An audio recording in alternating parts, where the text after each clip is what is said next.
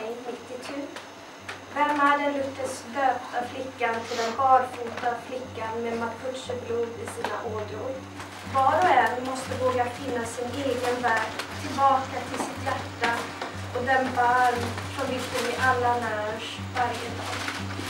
Vi är skyldiga henne varje andetag, varje ren vattendroppe och bit mat som kommer över våra läppar. Detta är vårt hem, hon är vår första moder. Hon kan vägleda oss ur krisen.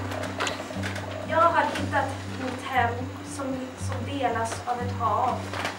I Viktor Skäras gråtande gitarr och folksagor om Frejas tårar, Korpens öl och Valkyriernas eld. Jag lever helt i mitt troskap.